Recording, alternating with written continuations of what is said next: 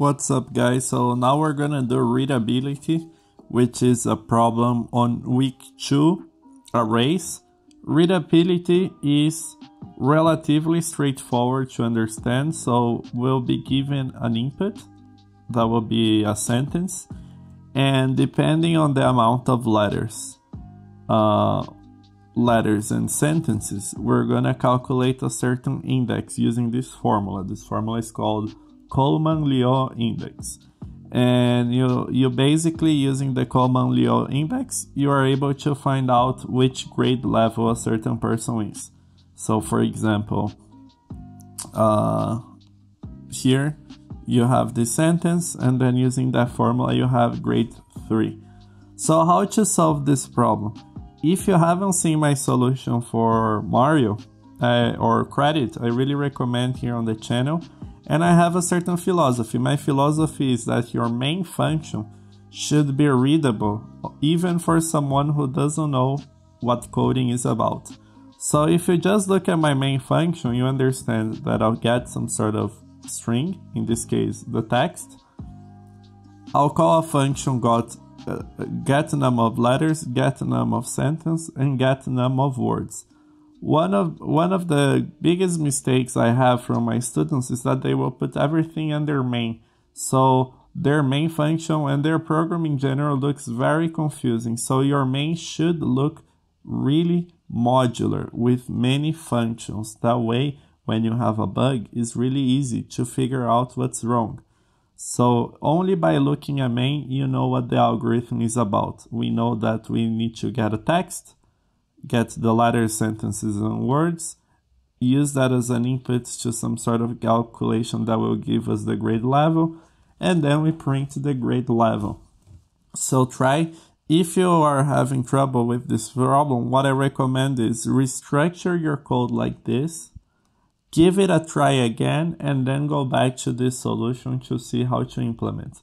Don't forget you need to put the function definitions here at the top. So let's see, for example, how we would get the num of letters.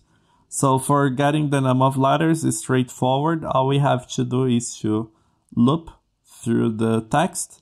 There is this function called isAlpha how did, did I know about it? There is this page called Manual CS50. So it has, uh, it's very useful. It's from the CS50 course. And here you can see all the functions that you can use uh, in your problems. So there is this one called isAlpha. Is alpha under the C-type library, which is really useful to telling you if you have a alphabetical letter and that's how we're counting him. So we're using isAlpha. Don't forget to include the ctype.h. And that way we are able to figure out the number of letters. So then we just return the number of letters and we're good to go. Okay. So that was easy. Then we get the number of sentences also from the same text. So let's go to get num of sentences. Wait, is it get num of sentences? Yes get num of sentences. So according to the problem statement, a sentence ends in a period, exclamation point, or a question mark. Remember, we can know the size of the whole sentence using this function strlen, which he talks about in the lecture. So every time we see one of those characters, we know it is a new sentence. So increment the sentence and we return one. Finally, the number of words. So if we get the number of words, all we have to do is loop also using the strlen. And according to the text, every time we have a space, that's a new word.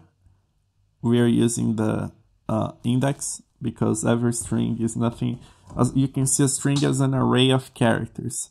So the ith character will be, we can loop through the entire uh, string as if it was an array and grab each letter using array indexing.